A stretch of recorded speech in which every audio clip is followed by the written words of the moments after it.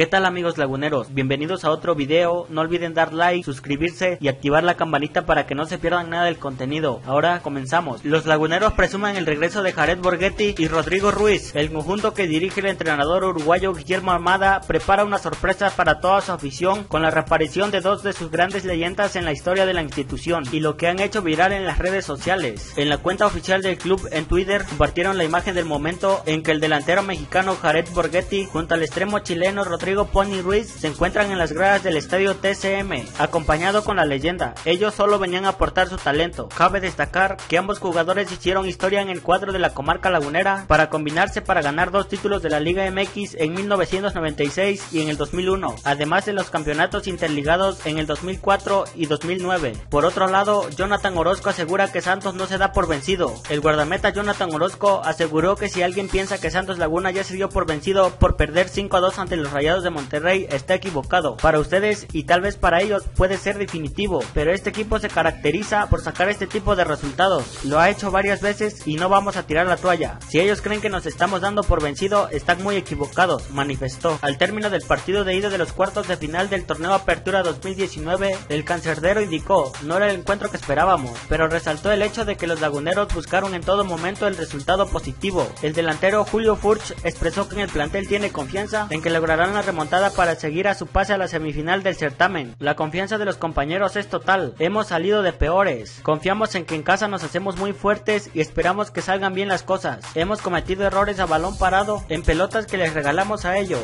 Son contundentes y aprovechan las situaciones. Tenemos que estar atentos y ser contundentes en el ataque, manifestó.